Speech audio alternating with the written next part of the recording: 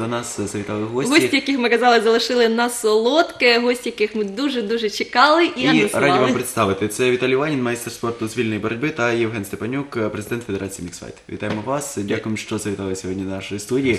Завітали не просто так, тому що, дорогі друзі, щопонеділка, що- щосереди та щоп'ятниці о 10.10 е, виходить постійна рубрика спорту місці Н, завдяки якій ви можете тримати своє тіло у формі. І сьогодні наші друзі, наші гості прийшли презентувати себе. Сьогодні перший сюжет з їх участю буде у нашій рубриці Спорт у місті Н.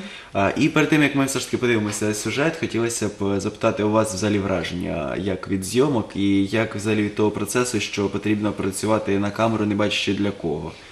Вы знаете, у нас уже есть очень огромный опыт в этом деле, так как мы с вами постоянно встречаемся перед каждыми нашими турнирами.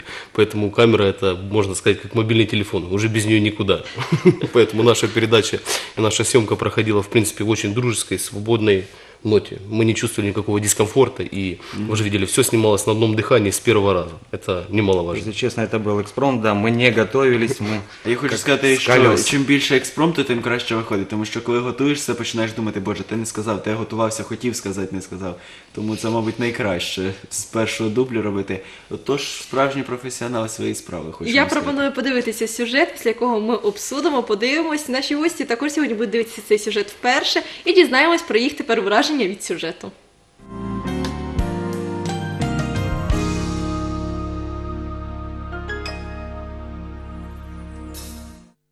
Сьогодні у рубриці «Спорт у місті Н» знайомимося з Віталієм Ланіним, майстром спорту з вільної боротьби, та Євгеном Степанюком, президентом Федерації Міксфайт. Здравствуйте, все спортивные и неспортивные люди города Н.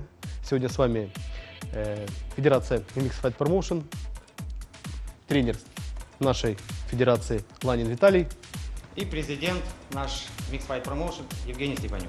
Сегодня мы хотим вам показать базовую технику, ударную, э, в смешанных единоборствах, ну и будем говорить так, в других единоборствах, таких как панкратион, боевое самбо и боевое джиу-джитсу.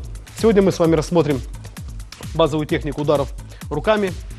Мы будем начинать полностью, как в принципе используется в любой разведывательной технике, в клетке, будем так говорить, на татами или в ринге. Это двухударная комбинация передними руками. Двухударная комбинация руками выполняется как и в левосторонней стойке, так и в правосторонней стойке. Я выбираю левостороннюю стойку, так правая рука у меня более нокаутирующая. Сегодня хотелось бы вам показать правильность выполнения двухударной комбинации руками и ярусность, куда эти два удара можно выполнять. Как обычно, допустим, в разведывательной деятельности в бою мы выполняем фехтующую технику передней рукой. В нашей ситуации это левая. Мы производим легкие удары. Удары все выполняются с переваливанием массы тела. Будем так говорить, ножки у нас не прямые, ножки у нас согнуты. И за счет выталкивания ножкой и скруткой корпуса полностью мы выполняем и выталкиваем ножку от ноги.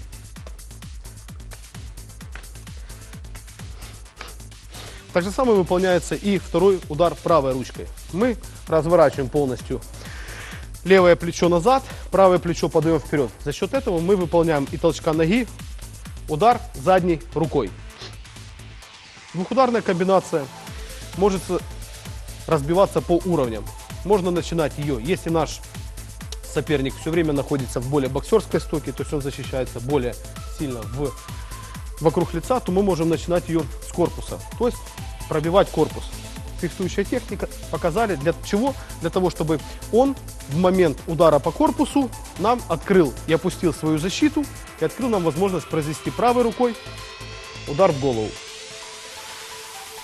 Как обычно, допустим, в разведывательной мы выполняем все с разных дистанций. Дистанция может начинаться издалека. Если мы будем выполнять длинный удар, мы можем начать ее с правой ручки. Так же самое мы можем, если мы находимся в дистанции вытянутой руки. Еще раз. Мы стояли с длинной дистанции. Я показал правой, левой, перекинул полностью вес силы и произвел удар правой рукой. Так же самое можно после длинной дистанции удара, удара правой рукой. Мы можем полностью все завершить со смещением центра и ударной линии влево. Удар левой рукой. Правая. Сместились. Левая докрутили. Правая. Левая. Не забываем, что в момент работы, что в ударной, что в, в борцовской технике мы должны все время перемещаться. Мы не должны на линии контратаки или атаки находиться. То есть мы все время бой, мы пожали ручки, начали передвижение. Все время не заставимся. Не заставимся. Мы только увидели, что у человека руки полностью больше заточены под борцовскую технику. Мы начинаем работать, не даем возможности сближаться нашему спарринг-партнеру или э, нашему противнику к нам, так как мы сейчас разбираем больше ударную технику руками. С длинной дистанции мы все время работаем. Все время работаем, не даем возможность полностью перемещаться.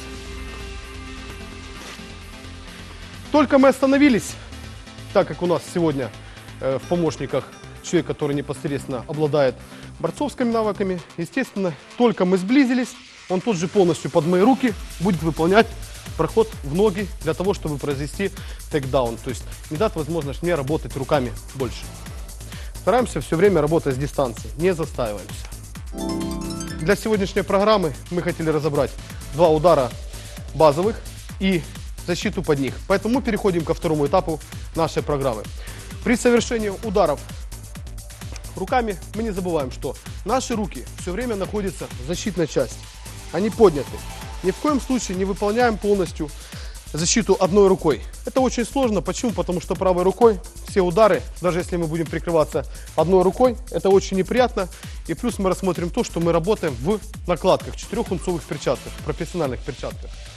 Поэтому мы все время находимся в более ручки подняты, стараемся, чтобы корпус полностью нам помогал защищаться от ударов руками. И от прямых ударов можно защищаться следующим. Если удары производятся передней рукой, мы делаем сбив от себя.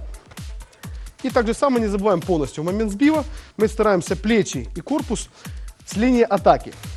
Убрать с линии атаки. Так же самое выполняется уклон под передней рукой. Если выполняется удар передней рукой, мы делаем уклон. И все время возвращаемся. После уклона мы стараемся тоже не застаиваться. Почему? Потому что если человек, как мы говорили ранее, обладает борцовской техникой, после когда, того, когда он кинул левую ручку, если мы просто уклонились и остались на месте, он тут же будет делать проход нам на сближение. Что нам с вами категорически не подходит, так как мы больше с вами рассматриваем ударную технику, а не контр работа под борца. Так же самое работа от задней руки. Если задней рукой производится удар, прямой удар, то мы выполняем так же самое сбив от себя со смещением в сторону от удара. Так же самое выполняется под прямой нырок, только теперь в левую сторону. И все время смещаемся. Следующая защита получается подставки. В принципе, если вы не обладаете хорошей скоростью и вы больше рассчитываете на то, чтобы человек сблизился и вы поработали в портере, то вам лучше сделать следующую встречу под названием полностью глухая защита, то есть под прямой удар мы выполняем защиту двумя руками. Ни в коем случае в глухую защиту уходить нельзя. После любой защиты мы должны полностью заставить нашего соперника перервать свою атаку. Для этого мы выполняем следующее. После подставки мы тут же должны полностью кинуть любой удар. Раз, только удар произошел полностью, мы выполняем или сверху руки удар, или боковой удар, или корпус удар. Ни в коем случае не застаиваемся. Только мы произвели, прошел удар, в ответ кинули, мы сместились будь то влево, будь то вправо. Не заставимся. Это одно из важных, как показывает практика, э, действий на удары прямыми руками. Так же самое есть еще одно из самых простых, это защита разрывом дистанции. Только ручка пошла, еще раз, пожалуйста, ручка пошла, мы вытянули на себя и тут же кинули полностью ручку в ответ. Еще раз. И опять же, заостряем внимание на том, что все наши движения и передвижения должны осуществляться на чуть-чуть согнутых ножках, на пружинках. Если мы будем стоять на ровных ногах, наши все передвижения будут очень сложны. Мы становимся мишенью, нас будут расстреливать.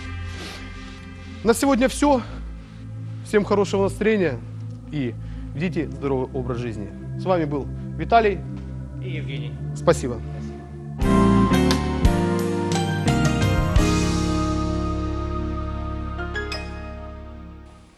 Що ж, дорогі друзі, повертаємося до студії і нагадуємо, що е, бачите чудеса техніки. І там їх показують, і тут показують. Зразу в двох містах. розриваються.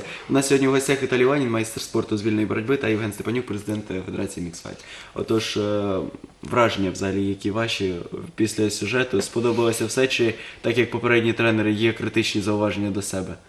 Вы знаете, да, действительно, очень сильно понравилось. И я скажу более, что мы не ожидали, что так получится. В принципе, даже в нашем разговоре не было нигде запинок, не было нигде перерываний. И вы видите, что чем проще объясняешь, тем более доступно даже для вас. Вот вы сидите, делитесь впечатлением о нашей программе. И, в принципе, для базы, то, что было показано, для вас все ясно и понятно. Без особых тезисов, вот как правильно, по 300 раз повторить. Нет, очень легко и просто, можно в домашних условиях все это делать. Дійсно, друзі, я була на цій зйомці, коли ми знімали цей сюжет, і я дійсно думала, що хлопці підготувалися, що текст був завчений, тому що все йшло просто на одній лінії, ніяких дублів, ніяких е, перерв, все гарно, чітко. І коли я вже їхала зі зйомки, я їхала з такою думкою, що мені вже не один маньяк не страшний, тому що після тренування з Такими друзями мені вже нічого не страшно.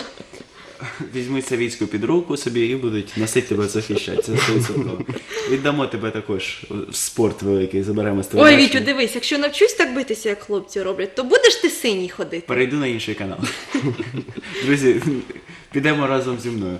Взагалі, які плани на майбутнє саме з приводу цієї програми? Є ще щось, е, скажімо так, певний блок уже відзнятий. Зараз, побачивши першу передачу, чи є тепер думки, можливо, щось змінити, трансформувати, чи все ж таки в такому результаті вже подобається?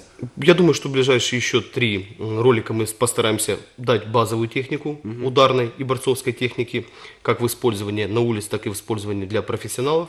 И потом мы перейдем полностью отработку и подготовку вообще физического состояния тела для того, чтобы, как говорится, быть всегда в тонусе и в хорошей физической форме. Прошу.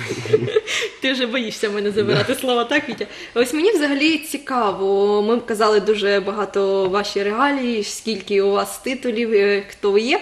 Мені цікаво, як ви до цього прийшли, хлопці, як ви стали дійсно такими борцями, такими дійсно чоловіками, за спинами яких не страшно відчувати себе тендітною жінкою. Я начал заниматься спортом в спортивной школе ДЮСШ номер 7.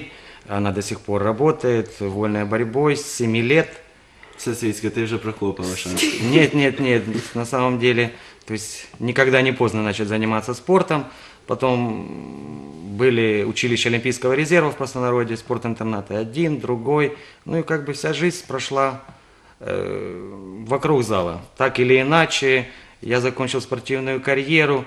Э, было время, когда было тяжело, уезжал за границу на подработки, но возвращался и опять вокруг зала. Опять, опять. Потом познакомились уже с Евгением. Я никогда не занимался э, смешанными единоборствами. Специфика чистая борьба. Жизнь Евгений говорит, давайте да?» попробуем, давайте попробуем. Ну, попробовали. Вроде бы все хорошо, результаты есть. Мы не работаем на чистый профессионализм. У нас занимается, мы работаем и с детками. У меня есть и семи, и шестилетние ребята, э, и 15, и взрослые, и студенты, и люди приходят после работы. Ну, естественно, есть и ребята, которые выступают на профессиональном уровне. Э, Не ставим задачи воспитывать олимпийских чемпионов, чемпионов UFC. Э, Задача забрать молодежь с улицы, с пивных ларьков, пусть приходят, занимаются. А если из общей массы появятся уже какие-то изюминки, ну, мы уже будем с ними Помогать, работать да? ин- индивидуально. Да, совершенно верно. А вас А, так. Вы знаете, моя карьера началась очень рано, тоже около 8 лет получается. Все началось с рукопашного боя. Всем немалоизвестный клуб «Рысь» рукопашного боя. Мои первые тренера были это заслуженный тренер Украины по рукопашному бою. Миненко Александр Васильевич, э, мастер спорта по дзюдо. Магдалюк Руслан Григорьевич, получается, и мастер спорта по фрифайту Конвишер Игорь Борисович. Это мои первые тренера. Сейчас у них у каждого есть свой клуб по смешанным единоборствам, и клуб «Рысь» так же само развивается, и вы видите, что они показывают хорошие результаты. Вот с них началась моя спортивная карьера. Сам был в сборной Украины по рукопашному бою, но в связи с тем, что я начал заниматься промоутерской деятельностью, то есть начал ребят возить на профессиональные турниры. Кстати, могу похвастаться за наших э, любителей ММА. Завтра, точнее сегодня в ночь мы вылетаем в Хорватию. В Дубровнике будет проходить матчевая встреча сборной Украины против сборной Хорватии по ММА. Mixed Fight Promotion формировал сборную. Это будет два спортсмена из нашего клуба. Это Бойко Александр, все, которого знает и к нему очень хорошо относятся, и Дмитрий Швец. Остальные ребята у нас будут с Киева и Кременчуга. Так что завтра мы уже вот обратно продолжаем нашу... Будемо де- тримати наш- за вас да, кулачки. да, поэтому так, вот так вот моя карьера началась, но я же говорю, что меня из- из-за того, что наш спорт профессиональный, он пуст, я переключился полностью на развитие спорта, развитие смешанных единоборств и популяризацию в Украине и за ее пределами. А ось чи можна, ви сказали, що ви розпочинали достатньо рано. Чи можна ось зараз з такого, наприклад, віку, як Вітя, щоб хлопець розпочав працювати над собою і добився якихось таких великих результатів? Безусловно. Э, Только вот вчера приехали ребята с России, были тоже э, на турнире по смешанным единоборствам, показали замечательные бои. Ну, возьмем на примере Александра Панасюка, который пришел к нам в зал, э, ну, еще нет двух лет, ну, Да. выступает на очень высоком уровне. Они ездили на очень серьезный турнир. Он проходил в Ингушетии. Да, в Ингушетии. э, Да, Александр проиграл, но соперник был очень серьезный, турнир очень серьезный. э, Очень хвалили и комментаторы, и тренера. Зал поддерживал. э, К чему подвожу? К тому, что всего два года. Он пришел. Я бы хотел бы сказать, что он не просто проиграл, он проиграл раздельным решением судей по истечению трех раундов. Но вы же знаете, когда мы приезжаем в гости, гости не отдают в основном победу, если это по очкам тем, кто приехал. Они всегда будут поддерживать своих. Но Александр Панасюк действительно, то есть можно из вас сделать великолепного спортсмена. Ой, піду з телебачення, все тепер йду в спорт. Так вы будете снова на телевидении, только с разницей во времени. Вам же надо будет себя презентовать в дальнейшем турнире. Отож, е, дякуємо вам за е, настанови, скажімо так. Дякуємо за те, що допомагаєте е, молоді знаходити собі, скажімо так, заняття, окрім тих певних лар- ларків. Отож, що Бажаємо тільки натхнення, тільки сил і нових перемог. так.